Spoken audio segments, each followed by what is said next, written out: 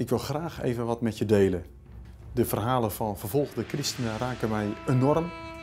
Niet alleen hun woorden, maar ook als je ze bij ontmoetingen in de ogen kijkt en ziet wat het verdriet en de pijn is waar ze ook mee te maken hebben. AMN laat zien hoe uh, veel christenen te lijden hebben onder de radicale islam. Heel bijzonder vind ik ook om te merken dat al het lijden wat zij meemaken hen niet bitter of boos stemt, maar dat ze vaak een bijzondere vergevensgezindheid laten zien. Het uh, leven ook in eeuwigheidsperspectief komt te staan. Wij kunnen daar ook heel veel van leren met de manier waarop zij met lijden omgaan. Laat je voeden door deze verhalen. Zij laten met persoonlijke verhalen zien wat christenvervolging in de praktijk betekent.